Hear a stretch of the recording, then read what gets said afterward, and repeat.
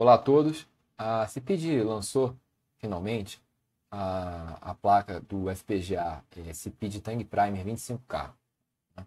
Essa daqui é a Core Board e essa daqui é, é uma dock para a placa. Né? É, como eu já havia falado em vídeos anteriores, é, esse conector aqui, esse header, né?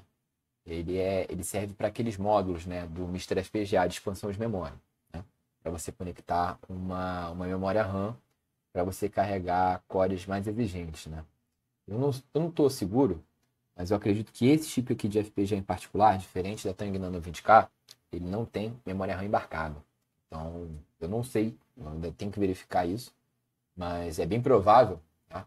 se você quiser carregar, por exemplo, que eu estou vendo aqui no post da Speed, que ele suporta é, Nintendinho e Super Nintendo, que você provavelmente você vai precisar aqui é, espetar aqui um, um, módulo aqui de memória RAM, tá bom? É, você tem aqui uma saída, um conector aqui USB tipo A, né? Mais um conector USB tipo C, que provavelmente vai ligado aqui nesse chip aqui BL616 para fazer a programação e o debug aqui da placa, tá bom?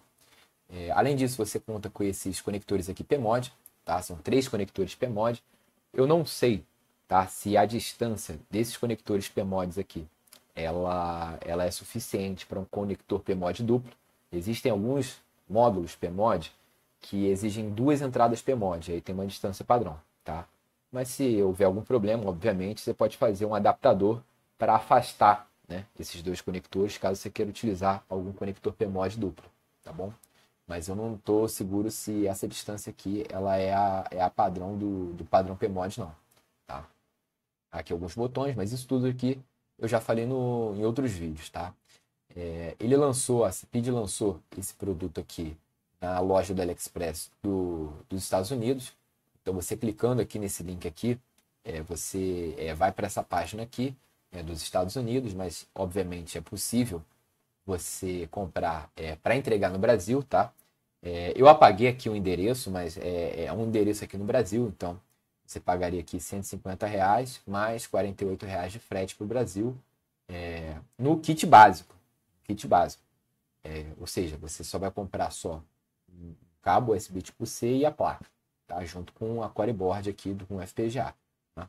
É, existem alguns, alguns periféricos né, de padrão PMOD que você pode comprar é, é junto para você conectar aqui, né?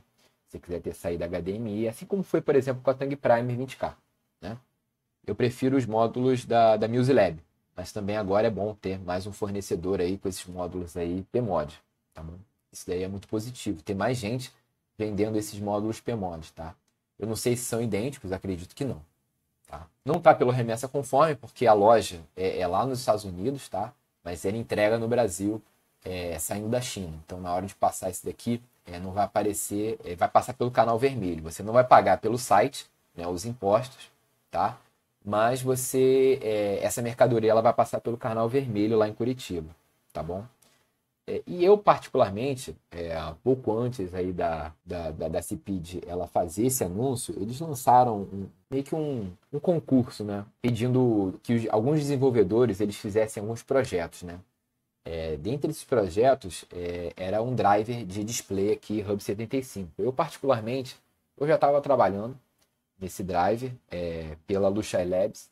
Inclusive, eu coloquei um vídeo no, no canal, tá? Se você não, não assistiu, dá uma conferida lá, tá?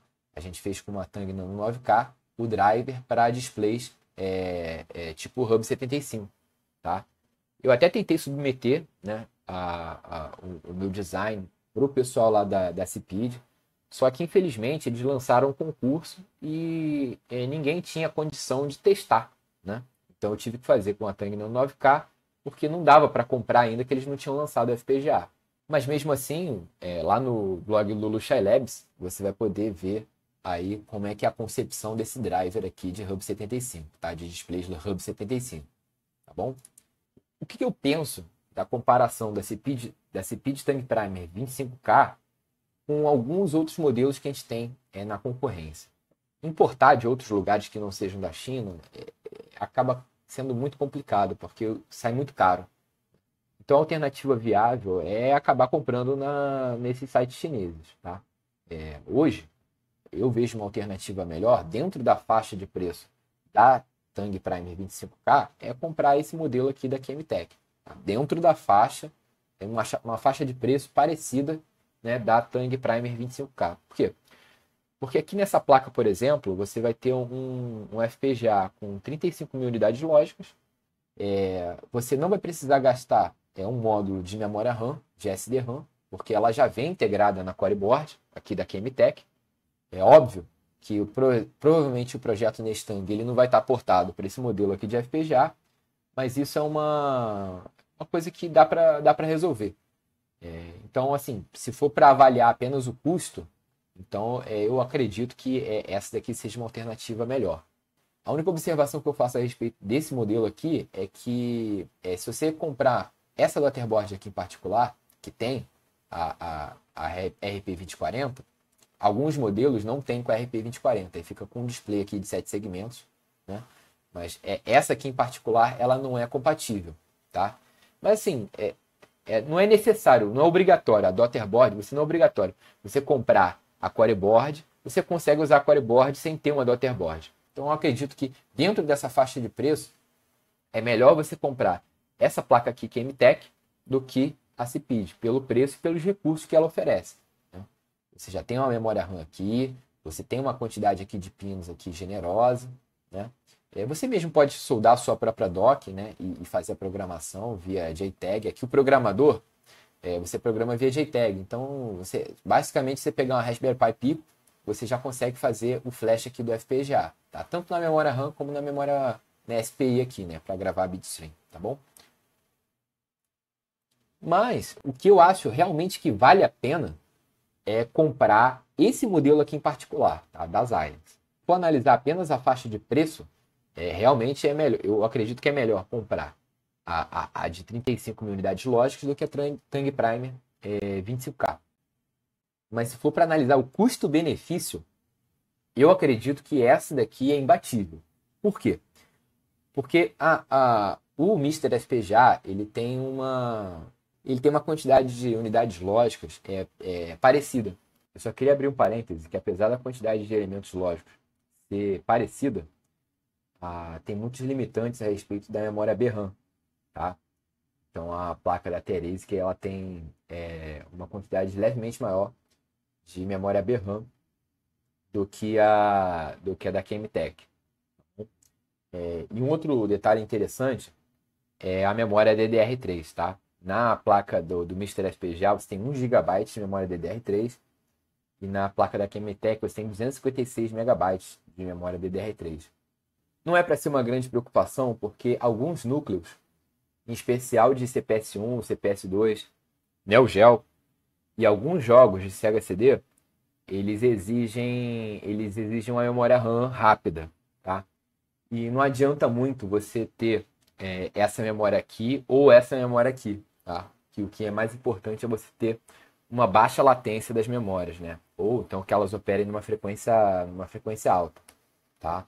Então, a depender da aplicação, é, você vai precisar de uma placa de expansão né, com, com uma memória RAM rápida, tá bom? É o único parênteses que eu gostaria de abrir, tá? Mas isso é só para alguns cores em especial.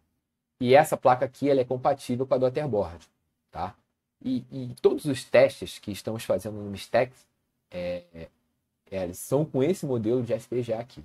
Se você for analisar é, colocar esse carrinho, quando você coloca esse item no carrinho e coloca lá no AliExpress para comprar, é, você ainda incide lá os descontos progressivos do AliExpress, tá? Então essa placa aqui de 405 reais, ela cai para 345 reais com frete, tá? É, tem a questão do remessa conforme quando você coloca aqui, mas na hora de colocar no carrinho, a, a não aderiu, a loja da Chemitech não aderiu ao remessa conforme. Tudo bem que essa placa ela vai passar pelo canal vermelho, tá? Você tem que ter essa consciência também de que essa placa aqui ela vai estar sujeita à tributação lá em Curitiba. Mas no site você vai pagar é, 345 reais aí usando os cupons de desconto, tá? Do AliExpress, tá bom? Do 11 do 11. Então eu acredito que o custo-benefício Alguns inscritos do canal vieram falar para mim de um outro modelo da Quintex. Isso daí é uma placa é, que eu pretendo abordar no outro vídeo. A, a placa Quintex 7 ela tem um, uma, uma série de particularidades que não vale a pena eu abordar nesse vídeo agora para não torná-lo longo. Gostaria de agradecer a atenção de todos e até a próxima.